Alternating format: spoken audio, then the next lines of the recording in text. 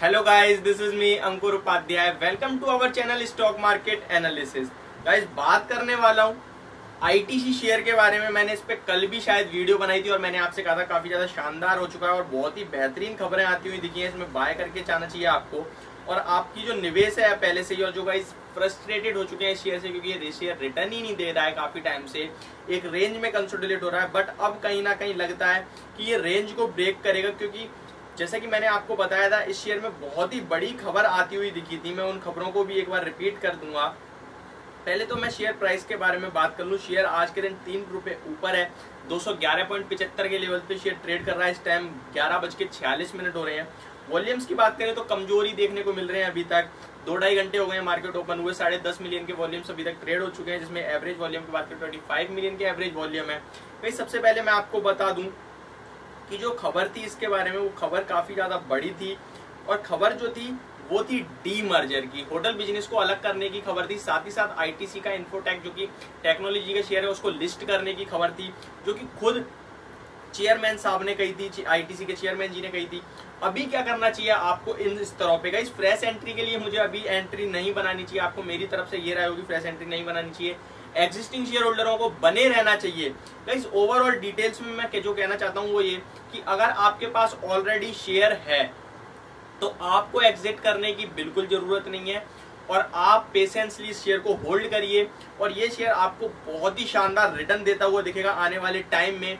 मेरे हिसाब से। भाई शेयर की बात करें तो शेयर 211.65 पे ट्रेड कर रहा है। आपका जो एसएल होना चाहिए क्लोजिंग बेसिस पे इन्वेस्टमेंट के तौर पे अगर आपने कर रखा है तो 198 का एसएल होना चाहिए। हालाँकि ये एक ही सिचुएशन में ट्रिगर हो सकता है। वो सिचुएशन ये है कि आ, ये का इस डीमर्जर की जो खबर थी उसके साथ साथ थोड़े दिन पहले एक खबर और आई थी जो कि थी अगर ये ऐसा कुछ होता है तो LIC को अपना स्टेक 15 परसेंट से कम करना होगा। और एलआईसी का अभी जो टोटल स्टेक है वो अराउंड 17 परसेंट का है। तो दो परसेंट अगर एलआईसी अपना स्टेक बेचती है या फिर ज़्यादा बेचती है तो सेलिंग प्रेशर आता हुआ दिखेगा शेयर में, जिसके बाद शेयर कहीं ना कहीं 198 के लेवल्स तोड़ देगा। तो उसके बाद आपकी जो रणनीति होनी चाहिए वो मेरे हिसाब से या तो आप अपनी पोजीशन में बने रहें या फिर शेयर को और एवरेज करें, क्योंकि वो केवल और केवल एक सेलिंग प्रेशर होगा, दोबारा से राइज होगा शेयर 110 परसेंट और वही हो सकता है इसका वैल्यू अनलॉक करे शेयर का। शेयर के जो मेरे हिसाब से टारगेट बन के आते हैं, वो तीन सौ, साढ़े तीन सौ रुपए तक के लिए आपको वेट करना चाहिए।